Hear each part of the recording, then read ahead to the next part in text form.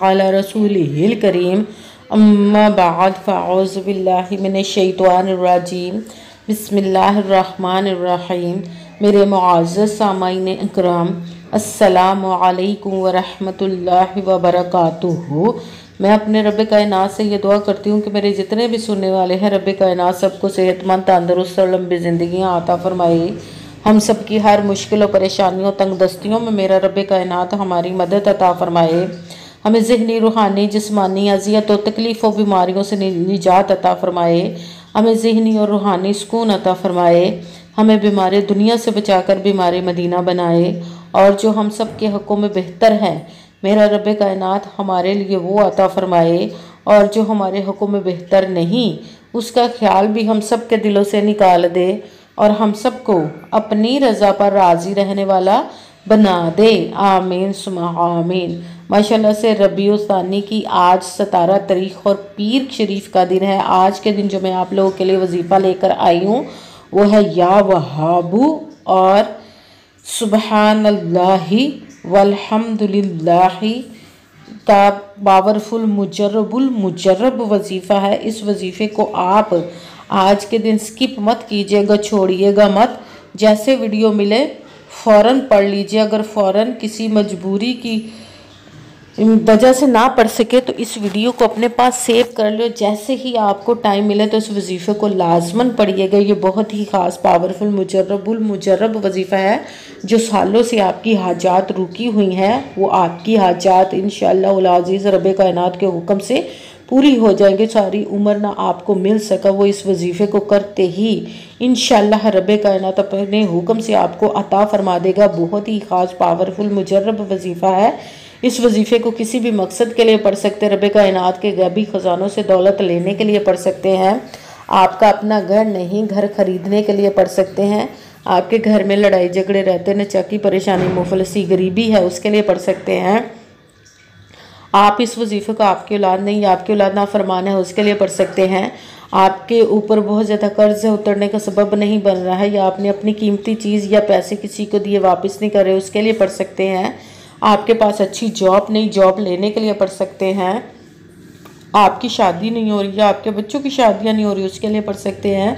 आपके घर में कोई बहुत ज़्यादा बीमार है, या आप खुद बीमार हैं, उसके लिए पढ़ सकते हैं। आपका अच्छा भला कारोबार चलता वो अचानक से बंद हो गया, उसके लिए पढ़ सकते हैं।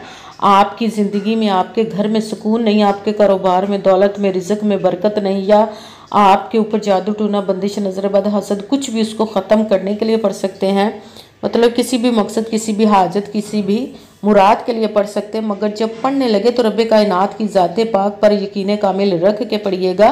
कहते हैं कि यकीन कामिल होता है, पीर कामिल नहीं होता और अच्छी नीयत रख के पढ़िएगा कि रब कायनात कुरान पाक में इरशाद फरमाता है, इन्नमलू बिन्नियात, कि जो अमलों का दारो मदार होता है, वो नीयतों पर होता है। अगर हमारी नीयत अच्छी है तो हमारा अमल भी अच्छा होता है, और अगर हमारी नीयत ही अच्छी नहीं तो हमारा अमल भी अच्छा नहीं होता। चाहे हम जितनी मर्ज़ी मेहनत कर लें, जितनी मर्ज़ी कोशिश कर लें, हमें उसका फल, उसका अजर अच्छा नहीं मिलता, इसलिए अच्छी नीयत रख के, पुख्ता यकीन रख के और पाँच वक़्त की नमाज़ की पाबंदी लाजमन रखिएगा। फिर इस वजीफ़े को कीजिएगा और वजीफ़ा करते वक्त आपके दिलों में, जहनों में ऐसा वसवसा नहीं आना चाहिए कि हम ये अमल कर रहे हैं, पता नहीं हमारी मुराद पूरी हो या ना हो, ऐसा हो नहीं सकता कि हम रब कायनात के किसी इसम का या कलाम पाक का वजीफ़ा पढ़ें और हमें कामयाबी ना मिले। ये हमारे ईमान की कमज़ोरी जिसकी वजह से हमें नाकामी मिलती है। आपने सिर्फ़ अमल करना है उसका फल, उसका अजर देना, उस ज़ात पाक का काम, क्योंकि उसकी दस्ते कुदरत से कोई चीज़ बाहर नहीं।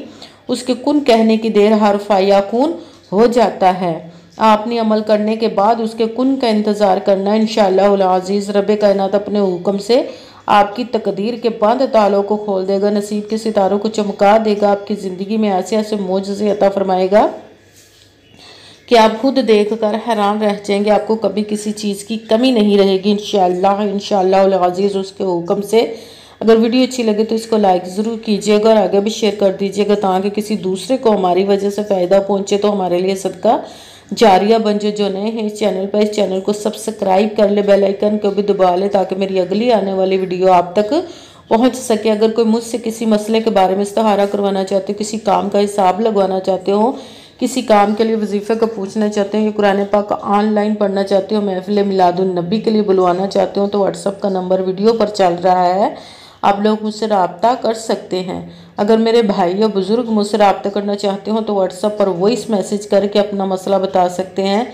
अगर बहनें या माएँ मुझसे रबता करना चाहती हूँ तो व्हाट्सअप पर वॉइस कॉल करके मुझसे बात कर सकती हैं, अपना मसला बता सकती हैं। आपने वजीफ़ा करने से पहले कमेंट्स में अपना नाम, जहाँ आप रहते हो, जगह का नाम और अल्लाह पाक का करम ज़रूर लिखना है, ताकि मैं भी आप लोगों के लिए दुआ कर सकूँ और फिर वजीफ़े की भी आप लोगों को इजाज़त मिल जाएगी। आपने वजीफ़ा करने से पहले पूरी वीडियो को ध्यान के साथ सुन के समझ के फिर वजीफ़े को करना ऐसा ना हो कि वीडियो को स्किप कर करके छोड़ छोड़ के सुने और फिर कोई बात रहे जो वजीफ़ा करे, ठीक ना हो। आपने ना तो किसी अमल में कम करके पढ़ना, ना ज़्यादा बढ़ा कर पढ़ना है। अगर कम या ज़्यादा कर देते तो वो हमारा वजीफ़ा ठीक नहीं होता, हमें कामयाबी नहीं मिलती। इसीलिए आपने मुकम्मल वजीफ़ा जिस तदाद और जिस तरतीब के साथ मैं बताने लगी उसी तदाद और उसी तरतीब के साथ आपने इस अमल को पढ़ना है। आप इस अमल को आज के दिन किसी भी जगह पर बैठकर पढ़ सकते घर में, ऑफ़िस, मदरसा, यूनिवर्सिटी, कॉलेज, शॉप पे। मगर जब पढ़ने लगे, बिल्कुल खामोशी तोज्जो सुकून के साथ पढ़ना कि वजीफ़े के दरमियान ना तो आपने किसी से बात करनी, ना उठना, ना फ़ोन इस्तेमाल करना है।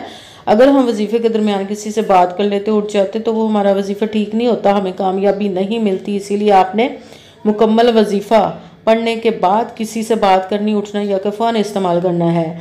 आप इस वजीफ़े को आज के दिन किसी भी वक्त पढ़ सकते, किसी भी नमाज़ के साथ पढ़ सकते, नमाज़ के अलावा भी पढ़ सकते हैं। अगर नमाज़ के साथ पढ़ रहे हैं तो नमाज़ मुकम्मल पढ़ने के बाद, दुआ मांगने के बाद आपने इस अमल को पढ़ना है। अगर नमाज़ के अलावा पढ़ रहे तो बावजू होकर ऐसी जगह पर बैठ कर पढ़ना जहाँ बिल्कुल खामोशी तोज्जो सुकून के साथ आप इस अमल को पढ़ सकें। जब अमल करने के लिए आप, बैठ गए तो एक मरतबा अपने दरूद पाक पढ़ना कोई सा भी दरूद पाक पढ़ सकते हैं मगर दरूद इब्राहिमी जो नमाज़ में पढ़ा जाता है वो वाला दरूद पाक पढ़ ले तो ज़्यादा बेहतर वरना कोई सा भी दरूद पाक आप पढ़ सकते हैं। दरूद पाक पढ़ने के बाद आपने एक मरतबा आख़ुज़बिल्लाशैतानरजीम बिस्मिल्लाहिर्रहमानिर्रहीम, पढ़कर अपने मकसद की नीयत कर लेनी है। जिस मकसद, जिस हाजत के लिए आप इस अमल को पढ़ने लगे हैं। फिर सबसे पहले नंबर पर जो आपने वजीफ़ा पढ़ना, वो रब कायनात के एक किस्म मुबारक का पढ़ना, या वहाबू या वहाबू या वहाबू या वहाबू या वहाबू, या वहाबू, इसको आपने ग्यारह मरतबा इलेवन टाइम पढ़ना, फिर साथ ही दूसरे नंबर पर जो वजीफ़ा पढ़ना है, तीसरे कलमा शरीफ का पढ़ना है सुबहान वलहमदिल्ला वला इलाहा इल्लल्लाह वल्लाहु अकबर सुबहान वलहमदिल्ला वला इलाहा इल्लल्लाह वल्लाहु अकबर।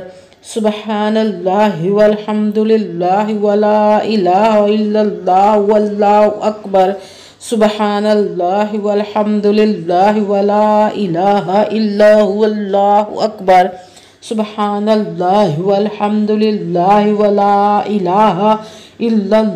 वल्लाहु अकबर। यहाँ तक आपने इसको ग्यारह मरतबा इलेवन टाइम पढ़ना, फिर साथ तीसरे नंबर पर जो वजीफ़ा पढ़ना है वो है कुरान पाक की एक आयत मुबारक का वजीफ़ा पढ़ना अल्हम्दुलिल्लाह रब्बिल आलमीन। अल्हम्दुलिल्लाह रब्बिल आलमीन। रब्बिल आलमीन। रब्बिल आलमीन। रब्बिल आलमीन।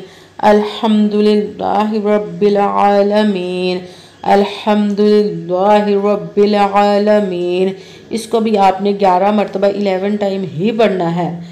सबसे पहले एक मरतबा दरूद पाक पढ़ा, फिर एक मरतबा आऊज़बिल्लामिनशैतानरजीम बिस्मिल्लाहिर्रहमानिर्रहीम पढ़कर अपने मकसद की नीयत करनी, जिसके लिए आप इस अमल को पढ़ने लगे। फिर पहले नंबर पर जो वजीफ़ा पढ़ना है, वो रब कायनात के एक किस्म मुबारक या वहाबू। इसको आपने ग्यारह मरतबा, इलेवन टाइम पढ़ना, फिर साथ दूसरे नंबर पर तीसरा कलमा शरीफ का पढ़ना सुबहान